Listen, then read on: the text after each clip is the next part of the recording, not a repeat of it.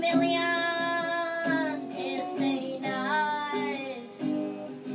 Don't be surprised when a crack in the ice appears under your feet.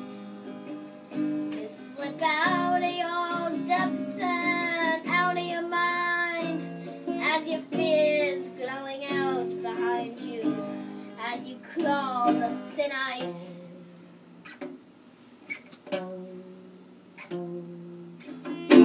Oh.